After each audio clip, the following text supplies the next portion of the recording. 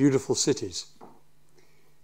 We dream of a society that is fair and just, in which people are genuinely treated as equals, where our children uh, can grow and find a place and be strong and bring their gifts, develop their gifts, and live that life that we long for them. As we dream of cities of this kind, as we dream Newham in this way, we imagine a society, a city that is resilient, that can withstand all kinds of challenges and learn from those challenges. But each time we find a word like resilient, sometimes we use it and we use it and we use it, and in the end, the meaning is somehow lost. So, right now, for each of you, if you were for a moment tracking back over your life, times when you've had your back against the wall, when you felt defeated, when you were in some way so challenged that you weren't sure that you could make it, if you would just hold that moment in your imagination. And then for that further moment, to dwell on what it was that you called upon within yourself or from your family, your friends, your community, that somehow resourced you to find your way through to a better time. In these memories, we understand what resilience is.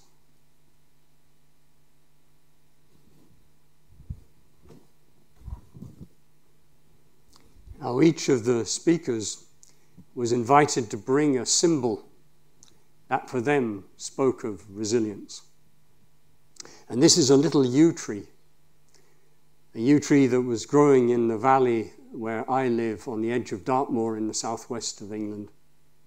And I've dug it up and put it in this pot, and after this event, when I go home again, I'll replant it back into that wood. These trees are remarkable. There are specimens alive today in Britain that are reckoned to be at least 1,000 years old. Estimates agree something probably in the region of 2,000 years old, and it is possible they grow to three, four, five thousand years old. Yew trees have always been associated with the land, the people, our ancestors, and an ancient, ancient religion. Yew trees were a refuge for some of the freedom fighters that existed in this land 2,000 years ago when Rome was on our shores and invading. And two of those freedom fighters, chieftains of tribes that used to occupy this land, took their lives using the poison that yew trees provide. At the same time, these little trees, that, well, this little tree, but the bigger trees that they become, are extraordinary, have an extraordinary capacity to renew themselves.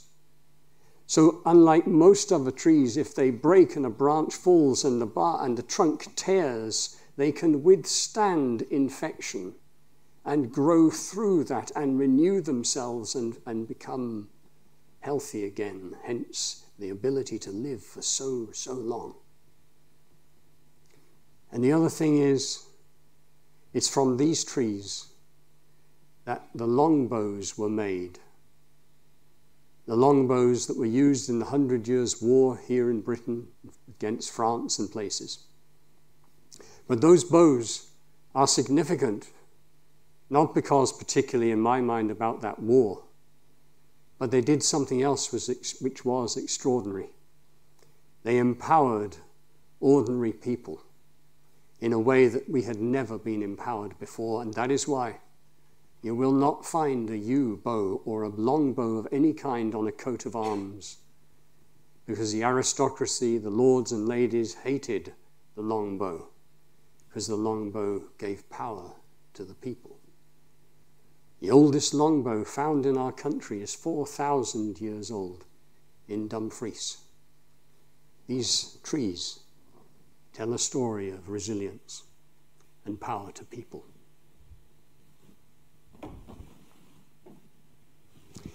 And maybe there are some of us who are innocent and blameless for the very difficult predicaments we find ourselves in. I am not one of those. I could not possibly claim to be either innocent or blameless in most of the incidents that have happened in my life. The expression digging a hole for yourself is one I, I guess we know. He's, he's digging a hole for himself with that activity, whatever it is. I'd like to share with you a, a story, an incident that happened to me which involved the digging of a hole and a rather unpleasant uh, outcome. I love digging holes. I don't dig so many holes now that I used to dig when I was younger, but powerful in my younger days physically, I could dig a hole like nobody else. I was very proud of those holes as well because they had purely vertical sides. They'd be very precise, very neat, circular or square, and just like a shaft just dropping straight down into the ground. Now, at my place, Embercombe, before we got our compost toilets, as we took the step towards becoming more sustainable, we needed to dig a number of toilet latrines. Now, this is different. This is just a hole in the ground with a little shed over the top, and then you sit above that, you do your business, and gradually the hole fills up. Obviously, there's some people that avoid these places the best they possibly can, but search for the flushing toilet. But the, the hole fills up, and at that point, you cover over the hole and then you move the shed to another hole that you've dug, you pop the shed on there, and then that one fills up.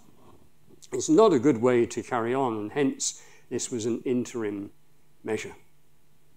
So I had dug this perfectly deep hole, and it was about that deep. And then we moved the shed and put the shed on top. And it was used over about a three month period. And lots of people came, and all of them left an offering. And gradually, the hole filled up. It got to the point where it was at capacity, that if you used it anymore, you'd get splashback, which was very unpleasant. And so we moved the shed, and I was in charge of moving this to the new site. So I'd spent a lot of time digging the new hole, and now we had to get eight people to lift the shed, it's quite heavy, bring it across, across and put it down. We lifted the first shed off, and looking at this hole, now this hole had been there cooking over three months in the summer. I don't want to dwell on this point, but you understand what I'm saying. It was, it was potent. So I saw these corrugated iron sheets, and I said, okay, before we do anything else, put these corrugated iron sheets down on top so that the worst does not happen. And so we put the corrugated iron sheets down. Now, I can't remember, I think we went for a cup of tea and a few things happened, and I am 64 years old, so perhaps I have some reason for this lapse, this kind of sudden memory loss that I occurred and led to such difficult situation. When we came back down, we started lifting this building, and there were a lot of other people all around watching and supervising, helping out. And I suddenly thought this is dangerous, and I noticed these corrugated iron sheets there. And I bent down, I said, Hold on, stop. I bent down, I grabbed the corrugated iron sheets, I whooshed them ahead, and I stepped forward.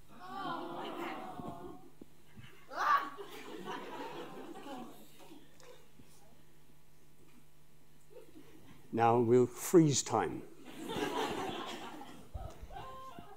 As I'm telling you the story, you could, you could dwell on maybe your own version of this incident, some appalling situation, partially, if not wholly, self created. And you take that step and you know all hope is lost. There was that moment I just knew. I thought, my goodness, that's it. I'm going down. There was, I could see a ring of faces around me, just horror writ on their faces. I knew how whole, deep the hole was. I felt terror just rush through me. I cannot think of anything else that I would rather not happen to me. And suddenly, in vertical mode, I'm shooting downwards. Down, down, down, down.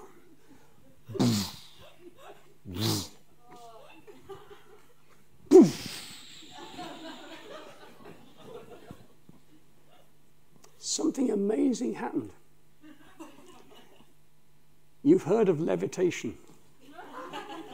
I received some kind of divine ray must have hit me because I just shot vertically. It's just straight, levitated my way out of this hole. I arose like the phoenix out of the fire, just emerging just like this symbol of uh, catastrophe, but perhaps redemption. Just, I just found myself shooting vertically back upwards and just arrived on the side, covered, and looking at my, all my people. Now, I'm the founder of this place. My dignity is important. I represent something to my people. I felt at that moment like just falling to pieces, like just blubbing, weeping, shouting, railing against the gods. And I knew that in this moment it was really important how I responded. And as I looked and I saw the ring of faces around me, I knew that they had a desperate desire to laugh. but they weren't sure if that was okay. And it was la- the kind of laughter that you have when, when, you, when you, you just don't know what else to do. It's so horrible. And I knew at that moment there was a choice for me. And I burst out laughing. I tore my clothes off. I was stood naked there in that field. And they were just, they were on the floor, helpless with laughter, looking at me. And it suddenly occurred to me, I can make more of this. So I grabbed my filthy clothes and I started running at them, whirling it round my head. I chased them all round the field. And suddenly their laughter turned to ah, and they run, run, run. And from this awful situation, and believe me, it was awful. Suddenly there was joy, there was happiness, there was fun, everything was lighter. And the last they saw of me, I was just running across the fields, the 500 yards back to my cottage, where I turned on the shower and remained for a very long time.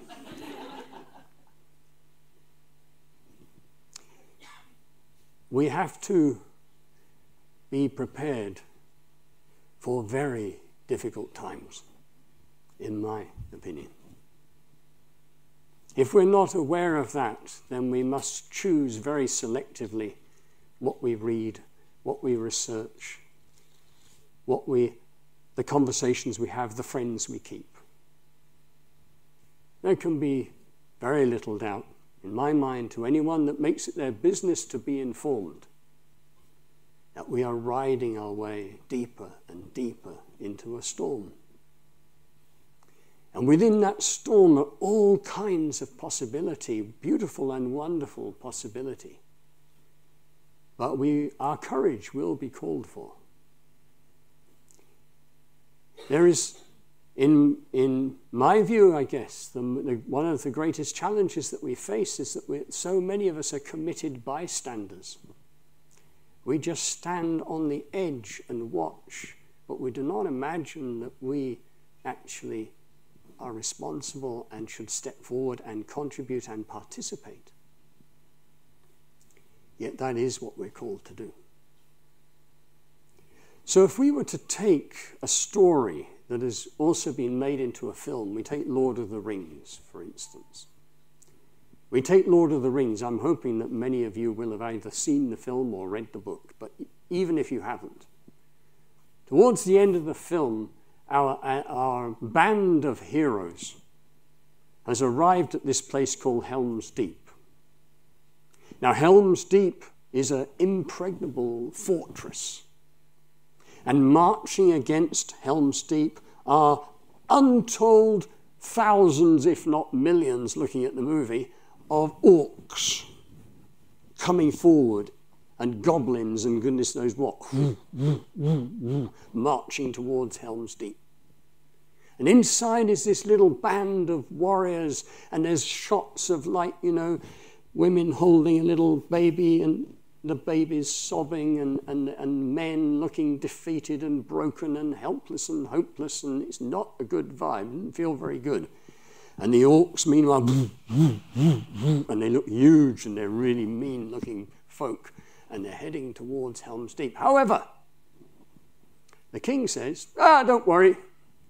Helm's Deep has, main, has withstood every invasion, uh, uh, every attack that's ever happened in all of history. It's okay.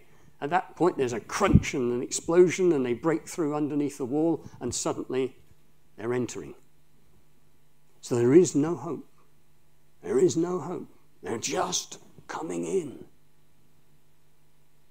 So now the sniveling and the whining and the, oh no, you know, nasty goblins is all building up.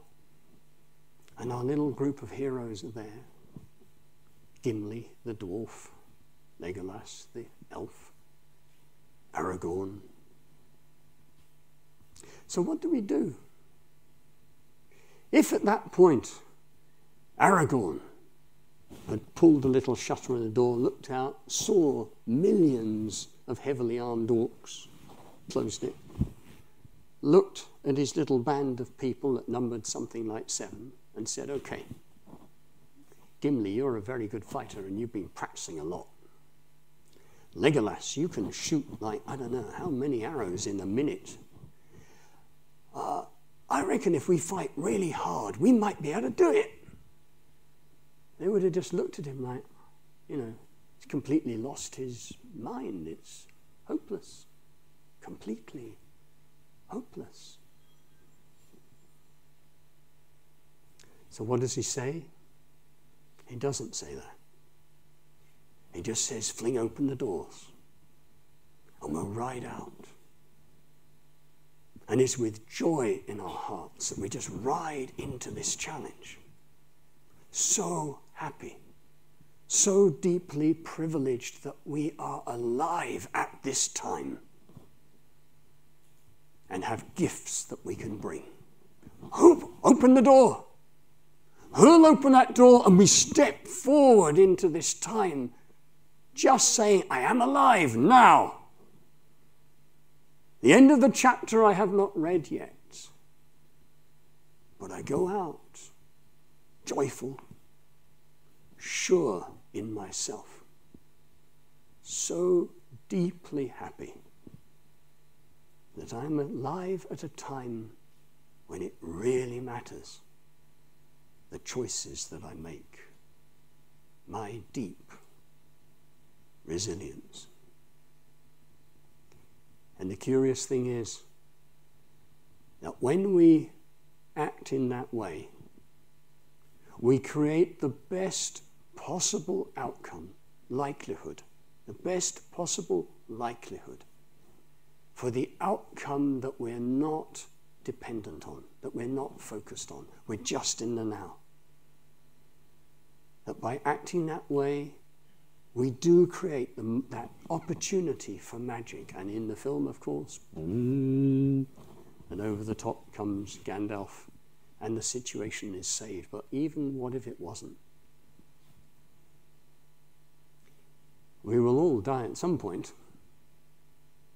The knowledge that during your life you lived the fullest, most honorable, true, powerful, joyful, alive life that you possibly could to the needs of the people, to the needs of our wider ecology, to the needs of our earth, would you not die feeling pretty good about yourself?